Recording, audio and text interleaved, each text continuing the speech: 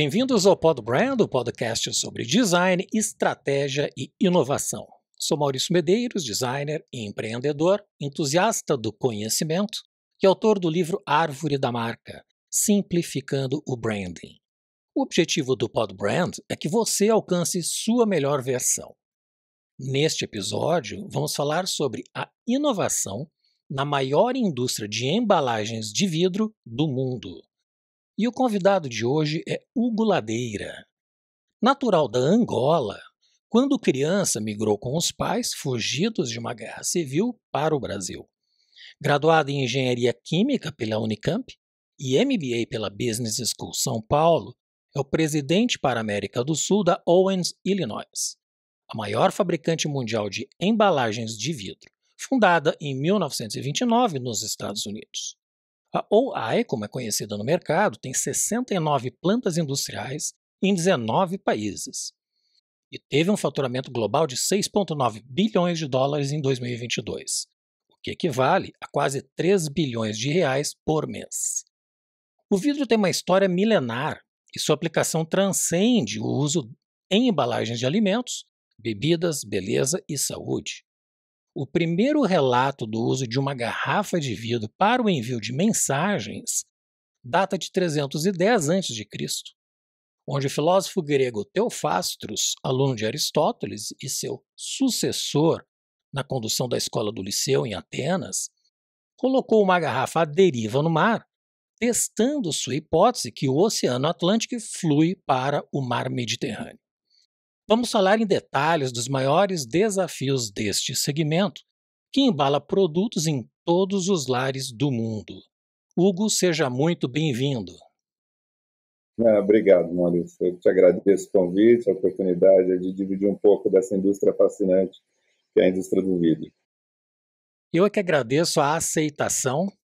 É um prazer ter a tua experiência e a tua vivência no Podbrand, especialmente ajudando as novas gerações a alcançarem sua melhor versão. Entrando no tema, nós estamos vivendo um impacto global eh, hoje com um expressivo aumento de custos de energia, que isso gera uma determinada falta de insumos, preços elevados na logística do comércio internacional, em alguns segmentos, provocando inclusive o desligamento parcial dos fornos industriais, pois o preço de vendas não cobre o custo com a energia neste patamar.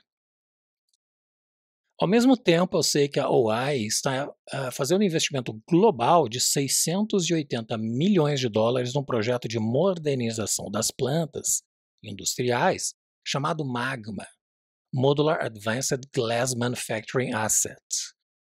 Explique como é este projeto Magma e qual o impacto que ele terá para a produtividade, produção de lotes menores, custos de produção e redução do impacto ambiental. Ah, bacana. Obrigado, Maurício, por dar a oportunidade de explicar um pouco essa tecnologia. Uh, a indústria do vidro, eu diria que ela está passando na segunda grande uh, mudança, revolução, né, que, que tem a história, desde que o vidro uh, começou a ser produzido de uma forma industrial. Então, como você comentou, né, o vidro ele é uma embalagem já utilizada aí, né, há milhares de anos, né, não são séculos, mas milhares de anos, talvez a, a primeira embalagem e continua a ser né, um, uma das melhores embalagens para realmente manter as características do produto de uma forma um, especial, né? Todo mundo sabe o quão diferente é tomar uma Coca-Cola numa garrafa e em outra embalagem. Então, o que, que aconteceu? Há cerca de um século atrás, quando Michael Owens inventou a primeira máquina é, de, de, produção industrial, a indústria sofreu né, uma mudança tremenda, né, possibilitando que cervejas uh, pudessem ser produzidas e transportadas por distâncias maiores, uma, uma série de coisas. Só que a indústria do vidro ainda tem um grande problema. Para você hoje ter uma condição de produzir de uma forma uh, economicamente viável, você tem que produzir em grandes escalas. Você tem que produzir de um volume muito grande. Então, a, a, o que as empresas têm feito, elas têm dedicado plantas muito grandes e os clientes geralmente se uh, posicionam perto da indústria de, de, eh, de vidro, né, da vidraria. Isso tem sido um problema, porque quando você tem o transporte, né, é, você tem um impacto de custo, que é o frete. Você sabe que a garrafa, a embalagem de vidro, ela transporta ar dentro dela, né? Ela, então, quando ela vai para o cliente, a gente, na verdade, está levando o ar, então, um impacto de custo muito grande e toda uma questão de sustentabilidade, porque você está gastando, ah, obviamente, queimando combustível e tendo aí um impacto nesse transporte e você não está transportando relativamente nenhum produto. Então, pensando nisso, nesse dilema, a ONU já vem há alguns anos trabalhando em como quebrar esse paradigma, como mudar essa forma de, de atender o mercado. E o Magma, ele vem justamente nisso. O Magma, é, ao invés da gente ter a necessidade de grandes plantas, a gente consegue construir fábricas menores, de uma forma modular, ou seja, você pode ir aumentando o tamanho dessa fábrica à medida que o mercado vai crescendo, porque hoje um dos dilemas da indústria do vidro, para os clientes também, é você realmente conseguir acompanhar o crescimento do mercado, porque às vezes você não tem uma escala ainda é, numa determinada região para atender esse mercado com, com embalagens de vidro, e o custo impossibilita que essas empresas consigam trazer e produzir no, no, numa embalagem de vidro, e às vezes tem que ir para o plástico, tem que ir para um substrato, né, uma embalagem que não tem as características do vidro.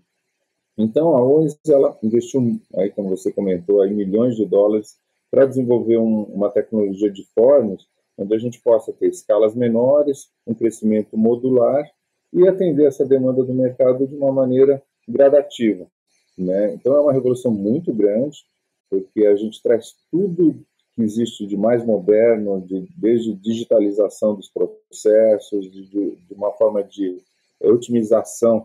Você sabe que energia, como você comentou, é o principal insumo, né? o vidro nada mais é do que é, areia derretida, né, por, por, por, calor, né, e ela se transforma nesse produto fantástico o vidro.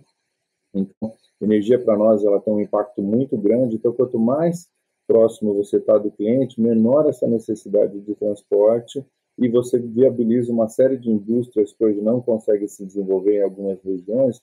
E para um país como o Brasil, que você tem dimensões aí continentais é, você possibilita que várias indústrias se desenvolvam a partir do momento que você viabiliza a embalagem, né? Então, indústria de, é, de vinhos, né? Você vê hoje é, o Nordeste, né? Com o Rio São Francisco aí possibilitando, né? Em, na Bahia, em Pernambuco, inclusive, o desenvolvimento de, de suco de uva, de vinho, coisa que era muito restrita no sul do Brasil, você já tem uma indústria se desenvolvendo. Então, essa indústria realmente ela necessita de você atendê-la é, estando próximo do cliente. E, e, o Magno é isso, é uma revolução, e principalmente para países assim de, de, dimensões como Brasil, Argentina, Estados Unidos, você precisa realmente atender diferentes regiões. Então, a gente está muito animado com essa tecnologia, é uma tecnologia que já está entrando em escala industrial, a gente vinha em escala piloto,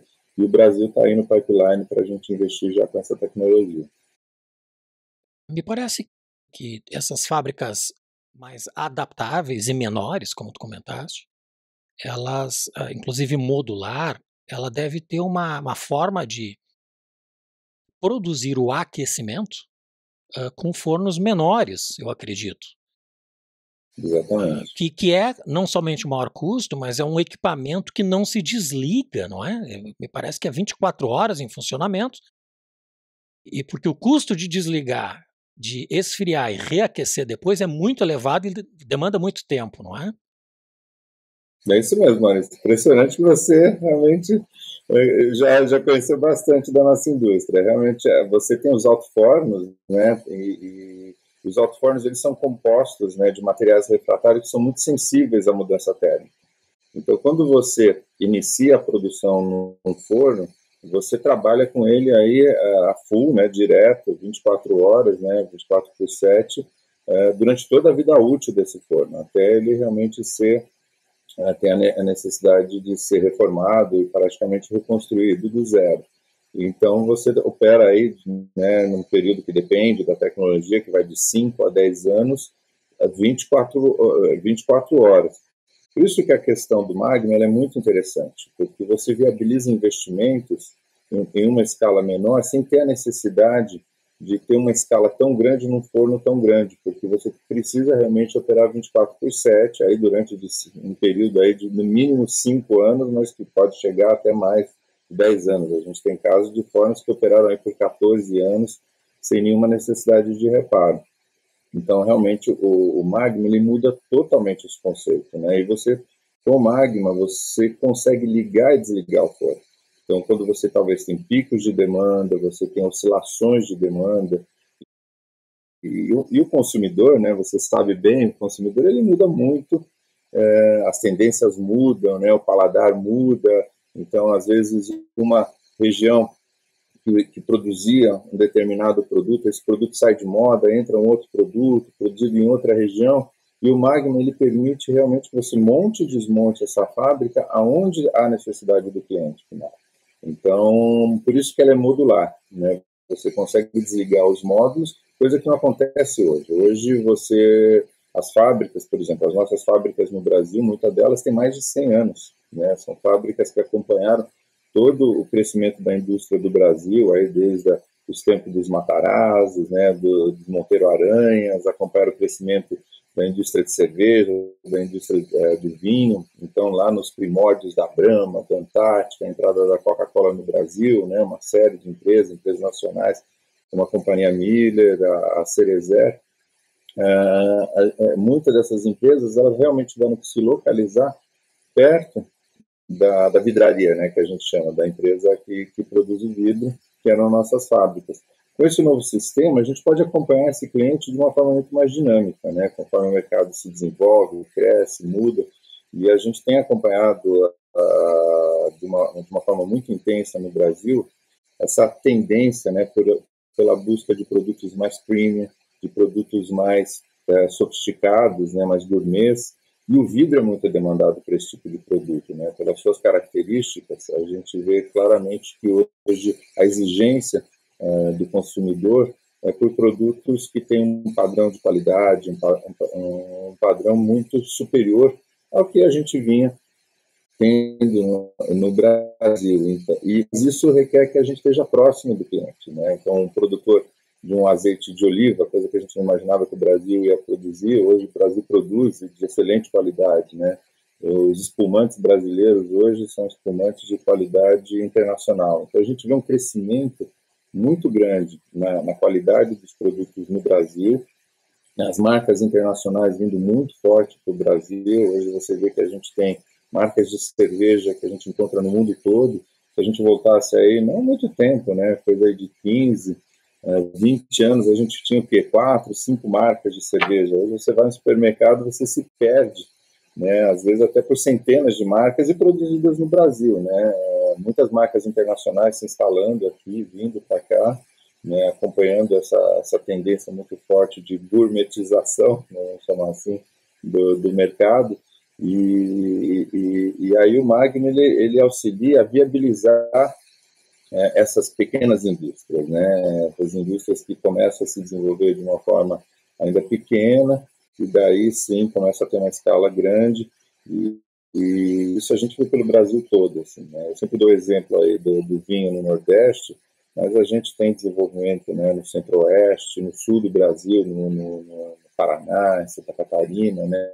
Antigamente a produção era muito Rio Grande do Sul, São Paulo, Rio de Janeiro, mas hoje a gente vê né, de uma forma muito abrangente vários projetos de, de, de sucos especiais, de alimentos especiais, que realmente assim o vidro consegue trazer a qualidade de embalagem, de apresentação que o mercado quer. Né? E quando a gente visita as prateleiras na Europa, nos Estados Unidos, a gente vê que o vidro está muito relacionado ao desenvolvimento da indústria de alimentos e bebidas. Né? Quanto mais é utilizado vidro, mais sofisticado é essa indústria. Né? Quanto mais sofisticado a gente vai no, no mercado, no supermercado, mais vidro ele tem. Então, a, essa tecnologia, ela realmente ela visa atender essa necessidade, né? mais uma, uma, uma visão que a ONS como a líder, como você comentou, a líder global é, nessa indústria, tem escutado dos clientes, mas tinha uma barreira tecnológica muito grande que a digitalização, né, é, não sei nem falar, miniaturização, é, vem ocorrendo de uma forma assim, muito intensa e possibilitado que tecnologias que há tempo atrás seriam impensáveis agora são possíveis. Então, a gente está muito animado, a gente está bastante animado. É uma fragmentação uh, do, do, mercado com marcas uh, mais sofisticadas, que é o segmento gourmet mesmo, as micro cervejarias e tudo mais, segmento de gin, muito especiais, né, com características uh, exclusivas, e aí exige uma embalagem à altura. O gás natural teve um aumento de custo muito elevado. Quanto representa o custo da energia na fabricação de uma garrafa, por exemplo? E ainda, quais soluções a OENS tem adotado para enfrentar esse contexto global de custos elevados da energia? Não, bom, bom ponto, Maurício. É realmente assim, o, o, ano passado, com essa né, guerra que a gente viu aí da, da Ucrânia, né, uma guerra muito focada na questão energética, né, pela dependência da, da Europa, principalmente é, do fornecimento de gás vindo da Rússia. E o gás para a indústria de vidro é o principal insumo no mundo hoje. É, você tem a possibilidade de fazer de outras fontes de energia. Você pode, já existem tecnologias é, não recentes de você produzir é, por eletricidade ou por óleo, né? Mas o gás é sem dúvida o mais efetivo. Então existe uma dependência ainda muito grande no mundo é, e na indústria do vidro em especial do gás. Então ele foi um impacto muito forte, né? Várias empresas até não conseguiram operar, né? Como você comentou no, no, no início, muitas empresas tiveram que e fechar as unidades, porque existe um limite também que o consumidor consegue pagar por esse aumento de custo. Uh, mas a indústria, uh, até de uma forma independente dessa questão pontual da guerra, que eu diria de ano, ela já vem há alguns anos buscando alternativas mais sustentáveis para diminuir principalmente a emissão de gases né, de, de efeito estufa, de gases que a queima né, de derivados de petróleo. Então, uma tecnologia que a gente vem. Primeiro, a, a, etapa né, que vem se trabalhando muito é buscar algo intermediário, que seriam fornos híbridos, onde você consegue ter um, uma maior é, participação de eletricidade. É muito parecido com o que ocorre hoje com os carros na né, indústria automobilística. Você tem aí, primeiro, uma busca de eficiência, em você ter fornos mais eficientes, com menor consumo é, de gás e conseguir ter a, a geração térmica, né, a necessidade térmica para você poder é, fabricar o vidro. Então, primeira etapa, a busca de eficiência. Essa busca de eficiência ela vem de várias formas, né? Ela vem de melhores refratários, refratários que conseguem é, ter uma uma eficiência maior do que refratários antigos, então você tem menos perda de, de calor para o ambiente, vem da maior utilização, como eu comentei, de eletricidade, então você tem um apoio elétrico, né, que ainda é né, 100% elétrico para grandes fornos ainda é muito caro, mas você consegue otimizar uh, utilizando apoio elétrico. A terceira onda é a utilização de oxigênio, for, fornos com injeção de oxigênio, então você tem uma melhor queima, melhor aproveitamento do combustível, com isso uma redução também do consumo de, de gás. E uma tecnologia que agora vem sendo muito discutida, não só na indústria do vidro, mas de uma maneira geral, e o Brasil tem um grande potencial, que é a utilização de hidrogênio, que se fala do hidrogênio verde, né? É uma tecnologia que o mundo, de uma maneira geral, vem apostando muito como um substituto do gás.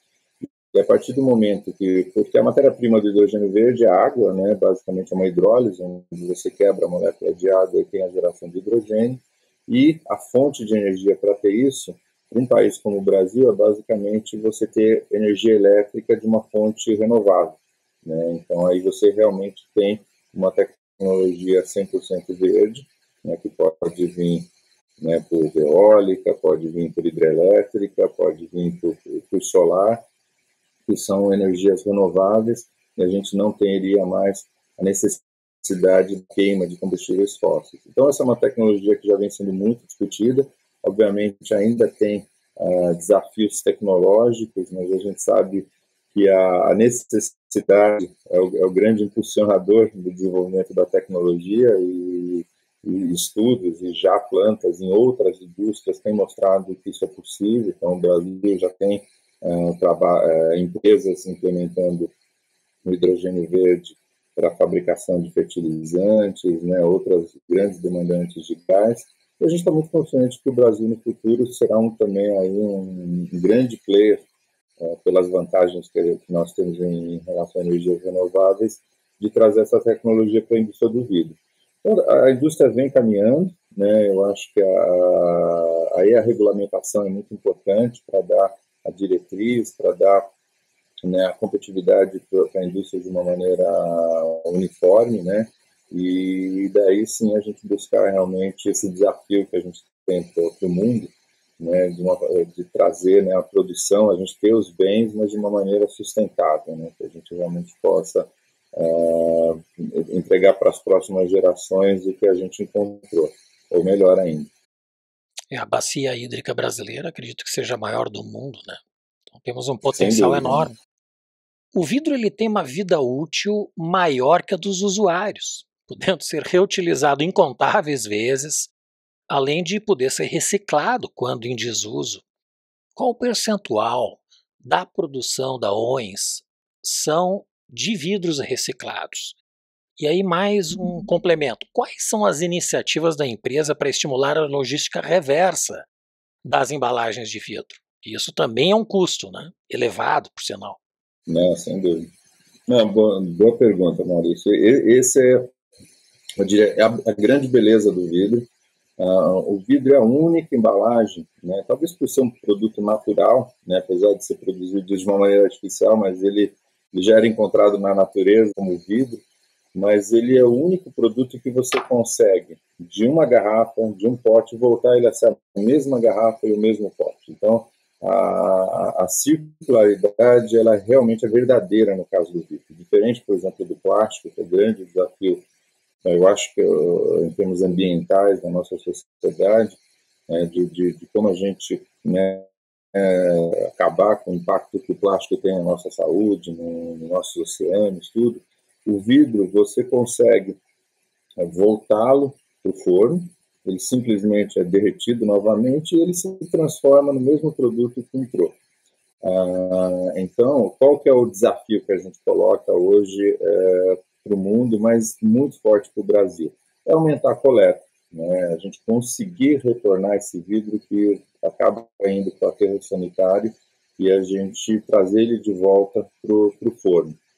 Uh, hoje o Brasil, para te dar alguns números aí, como você comentou, o, a Europa hoje já trabalha com nível de reciclagem acima dos 50%.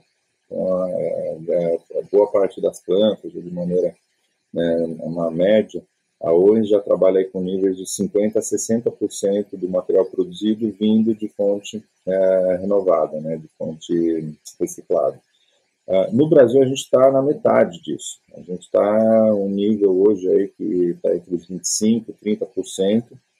Então, a gente vê todo o potencial que a gente tem para crescer nisso. E aí a gente tem um desafio muito grande, é, que envolve uma, uma, uma, complexidade de atores que vai desde a da educação do consumidor e separar, passando por toda uma infraestrutura para que possibilite né, que essa separação chegue nos fóruns, chegando até nós de ter a responsabilidade de reciclar todo o material que nos seja disponibilizado, né, que a gente possa comprar para colocar em nossos fóruns. E a outra característica do vidro, diferente de outros produtos, o vidro tem um ganho na reciclagem. A, a recicla, fazer o vidro a partir do reciclado, você precisa de menos energia do que você fazer da areia pura. Né? Quando você faz da areia, você precisa de mais é, poder calorífico para transformar isso em vidro.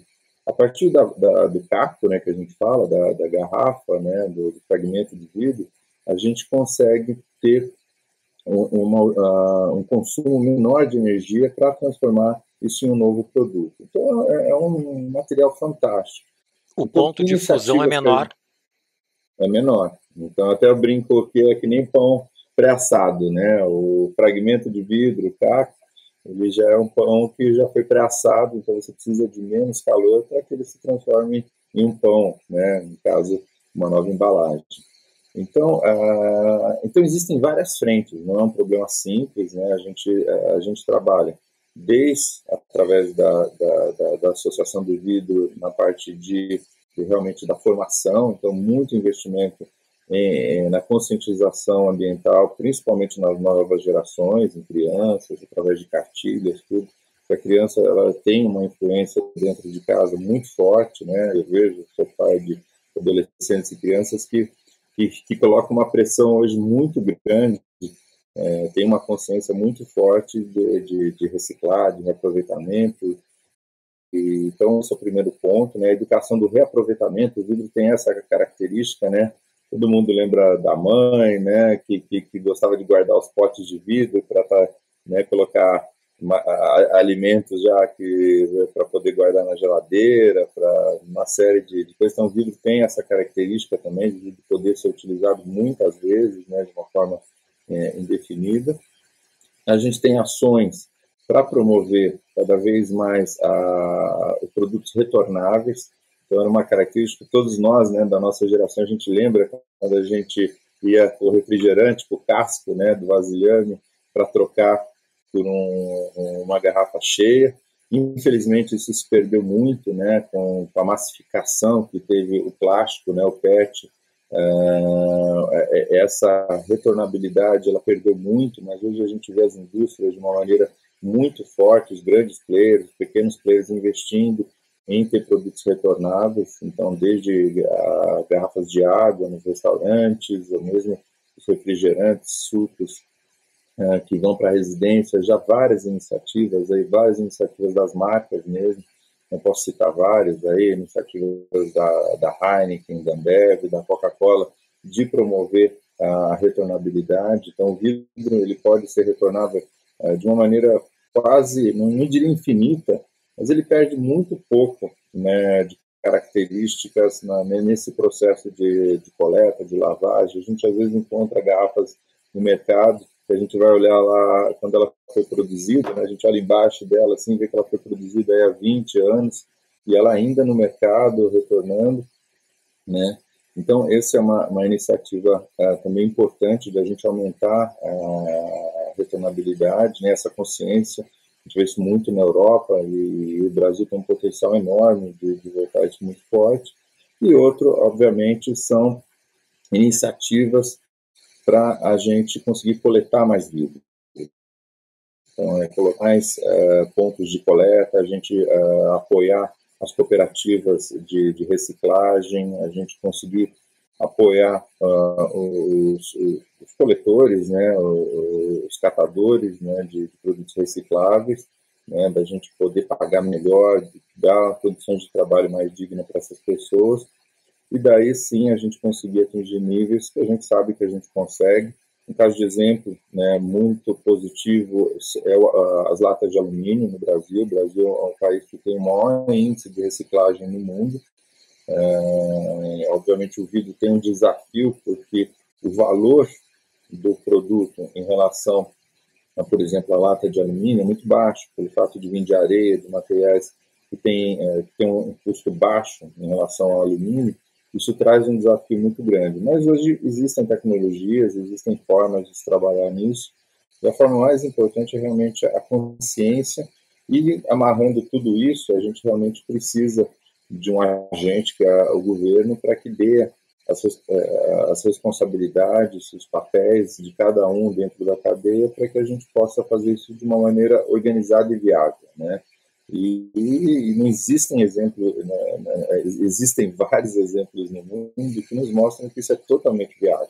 Então, essa coordenação entre a, uma legislação robusta e a gente conscientizando desde o consumidor, a gente vai conseguir aumentar esse nível e nós temos aí um, uma avenida de oportunidades para aumentar essa reciclagem e talvez um dia chegar em níveis como os europeus, né, e, ou talvez tenha um sucesso como o caso das latas de, de alumínio, inclusive são benchmark no mundo. É, e o alumínio ele tem um custo de logística reversa muito menor. Eu acredito que o volume deva diminuir umas oito vezes, porque as latinhas são compactadas, né? Exatamente. E a garrafa de vidro não. Ela volta não, no mesmo né? estado em que foi, né? Exatamente. Então, e, e por ser um material cortante, então você tem um, um desafio que está muito na base, né? na, na, na, separação e criar formas fáceis né, das pessoas retornarem esse material, seja em supermercados, seja em condomínios, né, mesmo na rua. Você vê, por exemplo, em Brasília, a gente tem vê projetos que você tem uh, aquela, aqueles pontos de coleta muito fáceis, né, muito perto das pessoas. E a partir do momento que as pessoas têm essa consciência, isso naturalmente vai ocorrer das pessoas retornarem e a gente dá a infraestrutura para que isso retorne para os fóruns.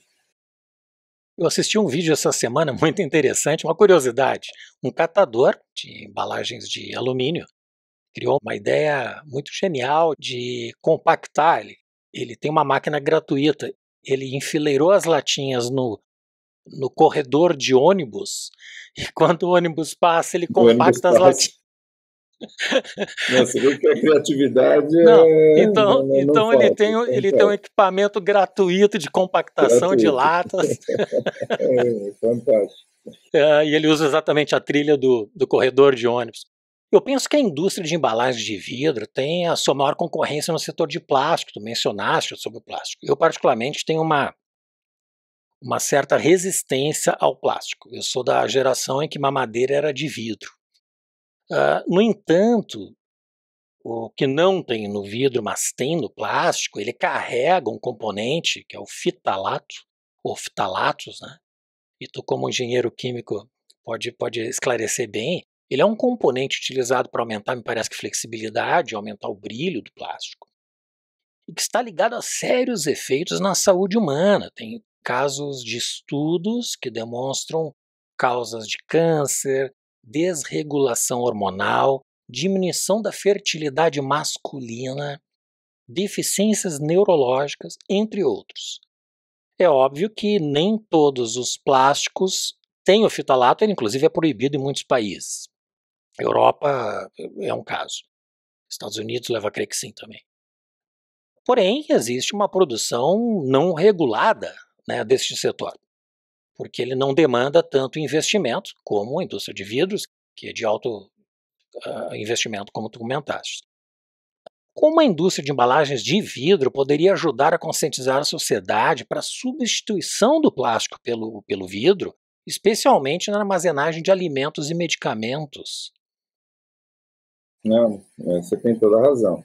Uh, o vidro, né, ele é um material é, totalmente inerte, né, e, inclusive por isso que ele preserva as qualidades do, do produto né, em si. O que aconteceu na indústria, quando a indústria, principalmente ali no, final dos anos 80, dos anos 90, a indústria realmente ela teve um drive de redução de custo muito grande. O plástico né, foi a resposta para essa necessidade de massificação, né, de crescimento. E, e, obviamente, o plástico trouxe dois grandes desafios que, que eu compartilho contigo. Eu acho que são, ah, quando a gente olha assim, de desafios, que a gente tem vários desafios na nossa sociedade, no nosso mundo, mas o, o plástico é um que a gente realmente precisa repensar. Né, em que aplicações realmente o plástico deve ser utilizado e ou não. Né? E uma que eu tenho certeza é, que ele não deve ser usado é para embalagem, né? porque você a embalagem é um produto por si só descartável, ele não é a peça principal né, da, da, daquele pacote. Né? O que é importante ali é o produto. E, e, então, a partir do momento que você uh, gera esse resíduo, e diferente do vidro, Uh, o plástico, por mais que você ah, tem uma iniciativa de reciclagem, mas a reciclagem é muito limitada. E ela, ela é limitada para poucas aplicações e depois que você fez a, essa aplicação, ele continua a ser um problema. Né? Ele continua a estar ali e, e hoje reciclar plástico é enxugar gelo. Né? Você não consegue realmente dar um destino para o que é gerado, o que é fabricado, né? A indústria do plástico tem se movido para tentar buscar, mas não tem como. Né? Você está tirando petróleo, transformando aquilo em uma sacolinha, em, uma garrafa, que é, na melhor das hipóteses ali, né, 1, 2% vai virar uma fibra para você fazer uma roupa, mas depois essa roupa vai virar um problema assim mesmo. Então, para mim, é, a sociedade ela precisa se livrar do plástico como embalagem. Né? Os níveis de, de, de, microplásticos que você tem hoje nos oceanos, ele chegou a um nível que já começa a comprometer a saúde humana, né? Então, existem vários estudos que mostram que a injeção de plástico que a gente tem hoje chega a, a níveis altíssimos, né? E, como você comentou, né, para você dar as características que o plástico precisa para diferentes aplicações, você tem que adicionar aditivos que não são ainda, né, no caso dos ftalatos já é conhecido a, a, os problemas que eles geram, por isso que hoje dificilmente se encontra maladeiras, né, produtos para bebê que têm ftalatos, mas ainda existe uma série de aplicações que você precisa do ftalato para essas características de flexibilidade e resistência que, que são fantásticas no plástico, né? Quando você vê, uh, por exemplo, o que possibilitou na indústria automobilística, né? Uma série de coisas que a gente tem hoje de facilidade, de, de qualidade de vida, vieram pelo plástico. Mas a embalagem, eu acredito que a gente tem que buscar outras alternativas que sejam sustentáveis, né? Uh, e aí, o vidro é uma que se põe, mas o vidro, obviamente, ele não tem a, a algumas facilidades que o plástico tem. O plástico, como eu comentei, é, em relação ao magma, você consegue por fábricas de escala pequena para você assoprar e ter a produção do plástico muito perto do consumidor. Então, o custo realmente do plástico ele é, ele é, é um apelo muito forte.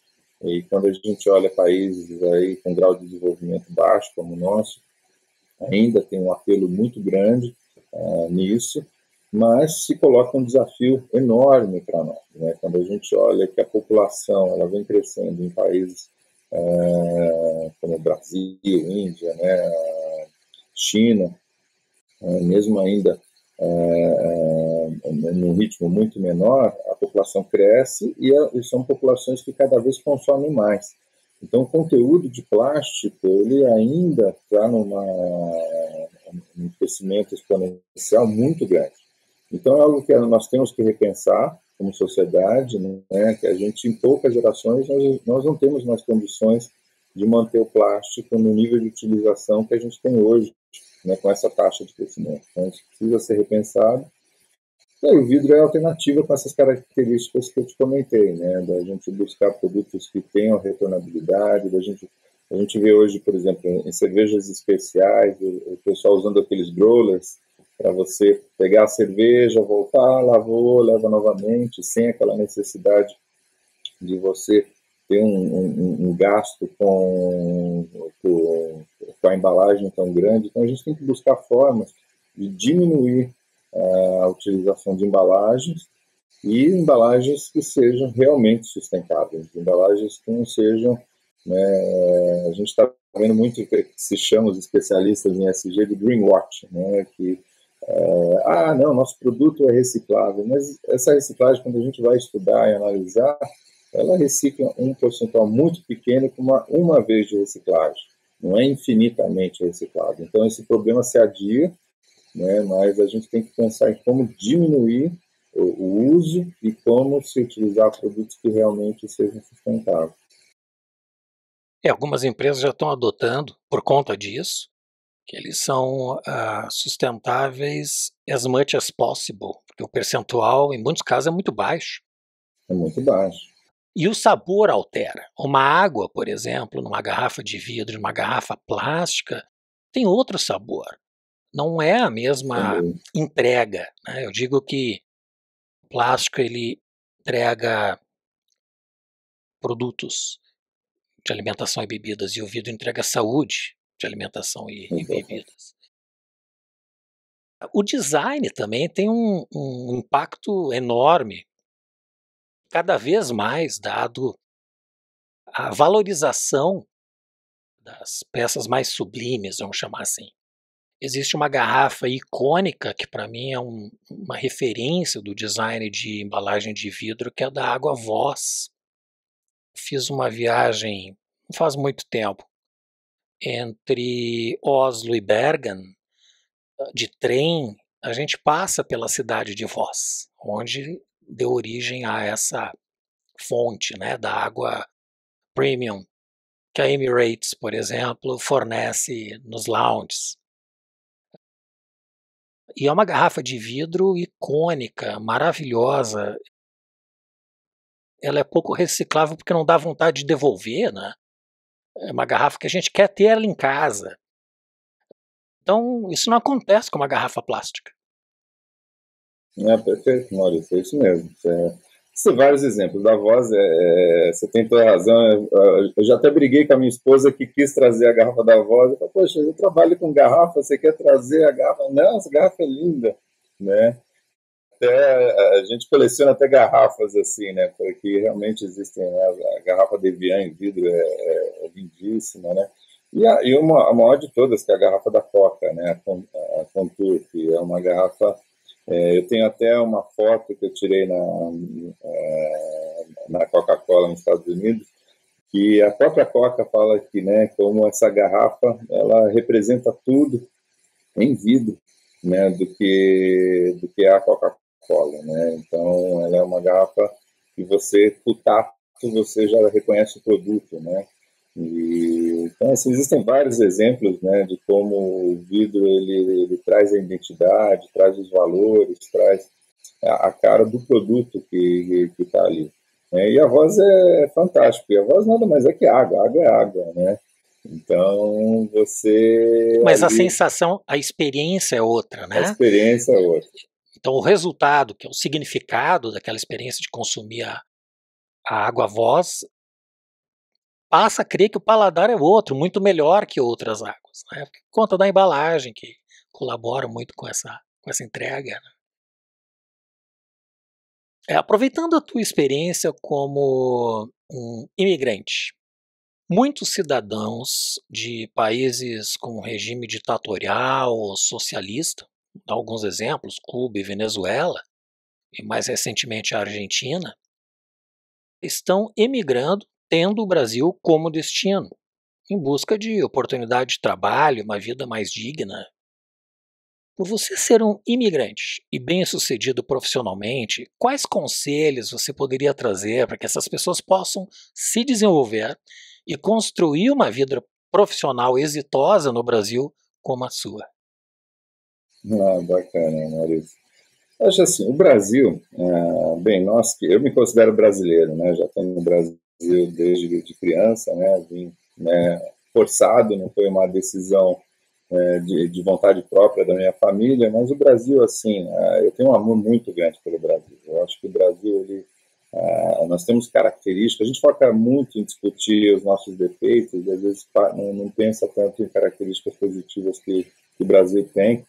E, e, e uma das coisas que, que eu acho, primeiro, no Brasil você tem oportunidades é, muito grandes, né, porque é um país ainda que demanda muita coisa, né, demanda é, tem uma carência ainda de em vários aspectos da sociedade que nos dá muitas oportunidades. Né? Às vezes as oportunidades elas não são facilmente percebidas, mas elas estão aí. Então o Brasil a gente ainda é um país relativamente novo em todos os aspectos, né? seja no aspecto de, história, no aspecto de democracia, de desenvolvimento. Né? A gente vem de uma história muito diferente do resto do mundo, né? uma história marcada pela escravidão, uma história marcada por exploração. Então, a partir do momento né, que a pessoa depara com um país que, com seus defeitos, mas é um país que existe, existe liberdade, existem é, e, e, as oportunidades elas estão aí para quem realmente está disposto a, arregaçar as mangas, trabalhar, se esforçar.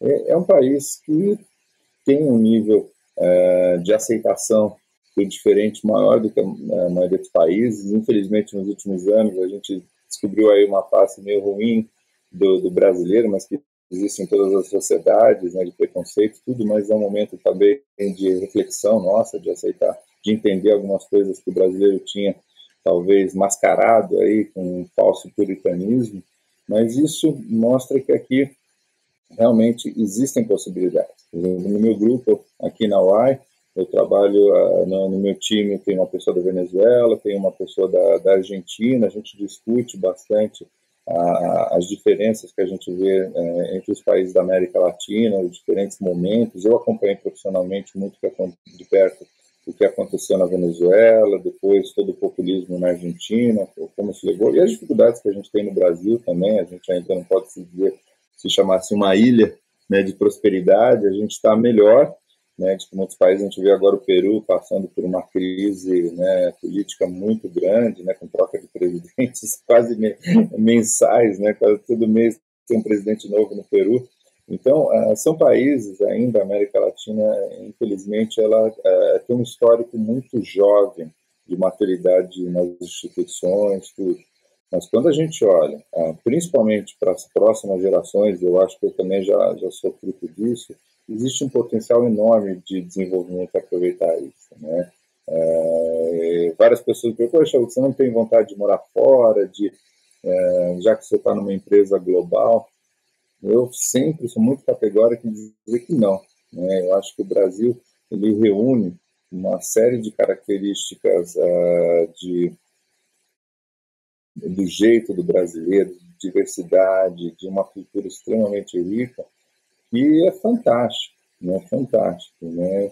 E, e falamos português, que é uma delícia, né? Então, assim, uh, eu acho que a pessoa né, é, que vem para o Brasil, é, eu acho que ela enxerga, né, como talvez os nossos antepassados um dia que migraram também, né, que, vieram para uh, os italianos vieram para cá, os alemães, os portugueses, né, a minha família foi para Angola, depois nós viemos para cá, essa vontade de essa força de vencer e o Brasil possibilita isso, né? Com o Brasil ele realmente é um país que demanda muito, demanda gente com vontade, e, e, e o grande desafio que eu vejo hoje é realmente um, é ter pessoas que liderem esse crescimento, né, de ter pessoas que realmente têm um espírito né, de empreendedorismo, de crescimento. Então, a, o Brasil, acho que a, a, não existe falta de recursos naturais,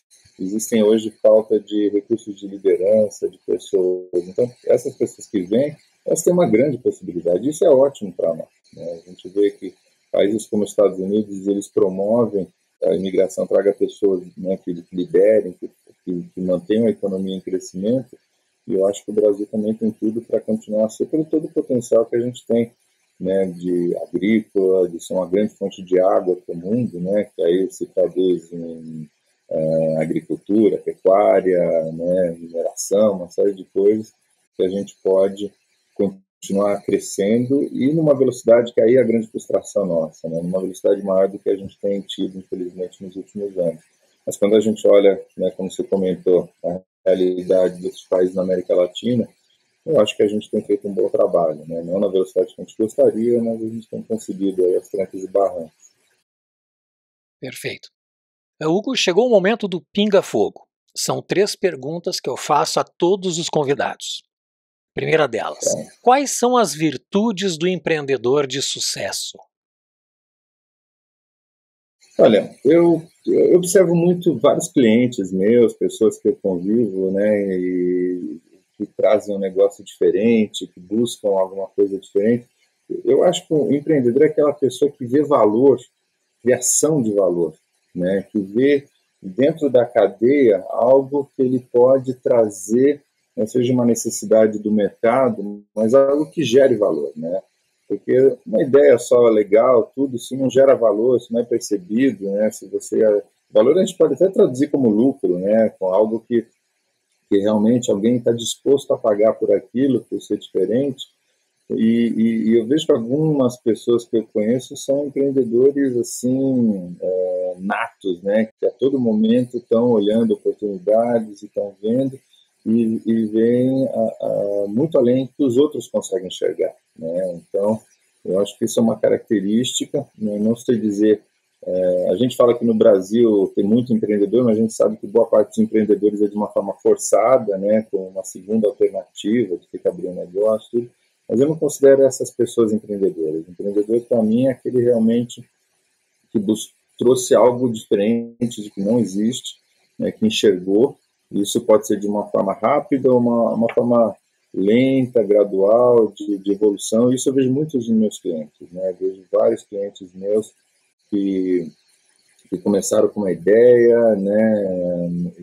Dessa ideia, às vezes ninguém aposta, o banco não quer dar crédito, nós não queremos uh, fornecer para ele que a gente quer fornecer, então parece uma ideia louca, mas essa pessoa luta, ela vai, e aí depois parece tudo muito claro, muito simples, mas essa pessoa enxergou um valor muito grande que as outras pessoas enxergam. Então acho que esse é um empreendedor de sucesso, alguém que vê criação de valor na cadeia onde os outros não veem, né? O que diferencia os sonhadores dos fazedores? Olha, eu acho que uh, é, é, aquele que consegue implementar as ações sem postergar, é, que vai para frente, né, que tem coragem né, e, e não perde o time. Né? Então, uh, às vezes o, o, sonhador ele fica, né, ele até tem uma boa ideia, ele até pode ser um cara de que teve uma ideia fantástica, mas o timing ele diz tudo, né? Então, se, né, se, se, hoje alguém pensar num iPhone, por exemplo, já passou, né? já foi. Né? Se alguém pensar numa fórmula da Coca-Cola agora, já foi. Né?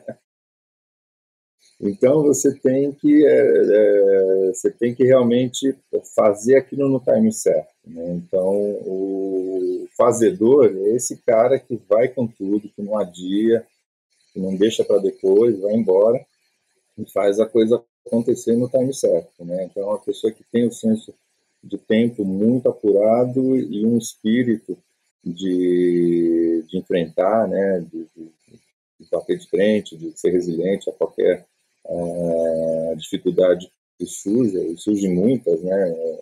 né? Às vezes coisas pequenas, né? Que impeçam a pessoa de se mover, é uma que vai para cima e acredita naquilo e faz acontecer. E a última, o que é design? Olha, design, é, para mim, é, é, é, tangibilizar, né? realmente transformar uma coisa, que é uma ideia, num produto, né? pode ser um serviço, né? e resolver um problema de demanda, né? qualquer que seja. Né? Não precisa ser algo muito é, assim, né, rock science, é algo muito complexo, né? Às vezes é, o melhor design é aquele simples, né? Aquela é, é, resolver um problema muito simples, né? Às vezes eu fico tão surpreendido, né? Hoje o mundo é, é, toda hora tem uma novidade, uma coisa que a gente nunca pensou, mas a gente tinha um problema. Então, o, o bom design é isso, é o cara que é, identifica uma dor né, aí uma, uma, necessidade que tem no mercado que pouca gente percebe, porque a gente se adapta fácil, né, a gente é uma espécie que se adapta bem ao ambiente, mas ele tem aquela perspicácia de inovar e transformar isso num produto, né? Então o design é isso, né? Para mim o design ele não é dos designers, né? O design ele é ele é algo que está muito no empreendedorismo, está muito em, em, realmente e as empresas que se mantêm né, por anos, por séculos aí, elas têm o design como a, a peça fundamental de rever os negócios, de rever a forma de trabalhar, de repensar. E, então, o design é isso, né? como que a gente tangibiliza aí uma ideia. Excelente. Hugo, a gente está chegando ao final, mas eu gostaria ainda, antes de se despedir, já. Vai rápido. Uh, que você indicasse livros ou outros conteúdos que ajudem as pessoas a alcançarem a sua melhor versão. Poxa, bacana. Ah, é, mas eu, eu, leio bastante, né? Até na pandemia, uma das coisas boas da pandemia, apesar de tanta coisa ruim que ela trouxe, mas uma das coisas boas é que é, eu consegui voltar forte, assim, a poder me dedicar a ler bastante, assim e tenho tentado manter, manter o ritmo aí, mesmo as atividades presenciais já voltando. Mas eu busco ler três tipos de livro, assim, e às vezes até simultaneamente. Agora, por exemplo, eu, tô, eu gosto muito É, primeiro é, é, livros de negócios, né, né é, de, de, sobre liderança, sobre finanças, né, então isso, isso é um tema assim que tenho, a gente tem que estar update, né, a todo momento surgem novos conceitos, uh, ou novas formas, né, de se mostrar conceitos já antigos, consolidados, um, um, livro que chamou muito a minha atenção, eu li assim, praticamente o último livro que eu li nessa área, foi um livro até que meu irmão me dictou, é, muito relacionado, a gente tem discutido muito aqui na empresa sobre diversidade, né, e eu tenho estado muito envolvido com esse tema, é, para que isso não vire só um discurso e realmente seja algo que a gente entenda em profundidade e a gente possa é, realmente causar um impacto. E, e, um tema que me chamou muita atenção é, é o tema da meritocracia, né, é um tema muito consolidado na, na, na nossa sociedade, né, a gente tem uma, uma, uma crença muito grande de que se eu me esforço, se eu fizer a coisa uh, certa, eu vou receber a minha recompensa lá na frente, né. Isso tem sido questionado e isso tem sido colocado até como talvez um do, dos grandes problemas dessa polarização política, porque existe uma frustração muito grande das pessoas em ver que esse modelo ele não reflete a verdade, né? E é algo que é muito consolidado, que desde pequenininho a gente escuta dos nossos pais, ah, se você se esforçar, você vai se dar bem, você pode chegar onde você quiser. A gente sabe que a vida é, não é assim, né? Então, tem um livro que eu recomendo, ele chama é, Tirania do Mérito, depois eu te passo certinho, é de um autor americano, Michael Sandel. Ele, ele dá muito exemplos é, dos Estados Unidos, mas extremamente aplicável para o Brasil. Né? Eu acho que o Brasil e os Estados Unidos são muito parecidos, assim, com alguma, algumas diferenças, principalmente de maturidade, pode ser por décadas, séculos, mas a gente pode aprender muito que os americanos uh, ainda sofrem, mas já sofreram, para a gente um, talvez encurtar um pouco essa distância nossa. Então, acho que é um livro bem interessante para liderança, principalmente, acho que para líderes, né, para poder olhar a empresa e, e, trabalhar isso dentro, né, de como que a gente trabalha, essa, às vezes, essa frustração né, e nessa, nessa forma da economia liberal que a gente está tá inserido. Uh, outra área que eu gosto muito é história, uh, sempre gostei de história, então eu recomendo ó, qualquer livro do Laurentino Gomes, eu acho a, a, a trilogia Escravidão uma aula de Brasil.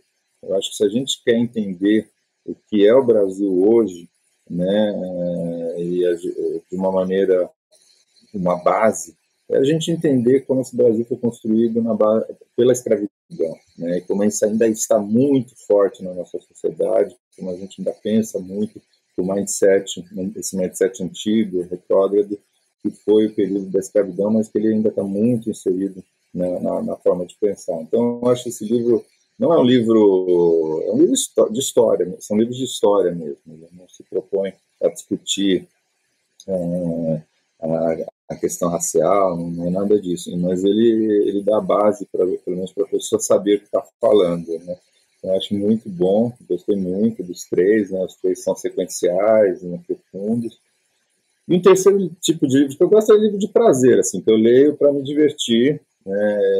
Eu sou roqueiro, né? Sou fã de rock, assim, até todo mundo me conhece, né? De, de gostar muito de rock, de ir em shows no mundo inteiro. Já estou batendo mais de mil shows na minha vida de, de assistir. Então, eu estou sempre lendo alguma coisa relacionada a rock. Uh, atualmente eu estou lendo a biografia de uma banda alemã que eu gosto, chama Scorpions, uma banda já antiga, tudo, e bacana, porque aí eu conheço como é que evoluiu os álbuns, né, as formações, eu gosto muito, assim, de, de conhecer é, em profundidade. É, tem outro livro que tá, tem um pouco também de negócios, que é a biografia do vocalista do Iron Maiden, Bruce Dixon, que ele é um ele é um palestrante até de empresas, tudo. A gente tem uma parceria aqui com uma uma, uma cervejaria do Brasil, que é a Body Brown, que é uma cervejaria, é, uma craft beer, né, super premiada, e eles têm a licença de fazer as cervejas do Iron Maiden aqui no Brasil. E, o Bruce Dixon, além de tudo que vocês vão ver no livro, assim, o, li, o livro chama em inglês é What Does This uh, Button uh, Do? né? Algo como para que serve esse botão? Né? Eu acho que tem em português, mas é, é, ele, além de tudo, é um especialista em cerveja também. Então, a gente desenvolveu uma garrafa né, aqui para o mercado do Brasil, especial para essa parceria entre a Bud Brown o Iron Maiden, tem sido um, um, sucesso. E ele realmente é um cara diferenciado, assim, do ponto de vista né, de cabeça, de, de empreendedorismo, né, de às vezes de mudar de estratégia, tudo. Então é um livro que você pode olhar em vários ângulos, assim, não só de rock, mas também do ponto de vista é, de, de, de, pessoas, e são pessoas com vidas diferentes, né? Isso que me chama a atenção, né? São pessoas com, com histórias muito diferentes da, da nossa, então eu gosto de ler essas biografias de, de cantores, de bandas, porque são diferentes e a gente tira alguns ensinamentos, mesmo que sejam coisas muito diferentes do, do nosso dia a dia. Essas são as dicas aí que me vieram aí. Acho que muito bom, vale a pena. Bom. Muito bom. Hugo, eu gostaria ainda, uma última coisa, e algo que eu tive a ideia de começar hoje, neste episódio contigo. Eu gostaria, se possível, se você poderia deixar uma pergunta ao próximo convidado, independente de quem seja. Não, bacana. Bem, você me pegou desprevenido, deixa eu pensar. Olha, eu acho que. Uh, então, eu vou perguntar para essa pessoa o que ela acredita uh, que a nossa geração tem que fazer para entregar um mundo melhor para a próxima geração. Então, como a gente falou muito de plástico, esse tipo de coisa, queria que você perguntasse isso para ele, porque realmente é uma inquietude que eu tenho, né? Como é que é. Eu vejo a minha geração, infelizmente, entregando um mundo com mais problemas do que a geração anterior. E então a gente já começou a resolver algumas coisas, a gente tem trabalhado com diversidade, a questão de sustentabilidade, mas ainda é muito mais levantando a poeira do que uh, aspirando a poeira, né? Então, o que, que ele pode nos trazer nesse nesse tema? Muito bom. Este é o episódio 28, então no episódio 29 teremos essa pergunta. Uh, muito obrigado, Hugo, pela sua lição de, de vida. Tenho palavras suficientes para o quanto colaboras para o nosso projeto, para o nosso propósito de ajudar as pessoas a alcançarem a sua melhor versão. Eu te agradeço de coração. Muito obrigado. Não, obrigado a você, Maurício. Também te agradeço muito. Te convido a comentar e avaliar este episódio. Você pode também mandar suas perguntas os livros que o Hugo indicou estarão no site podbrand.design. Você lá poderá encontrar um link que vai dar acesso a estes livros na plataforma da Amazon. E se você chegou até aqui melhor do que entrou, compartilhe com as pessoas que curtem o conhecimento. Agradeço muito a você que nos acompanha e nos vemos no próximo episódio do Podbrand, o podcast do design.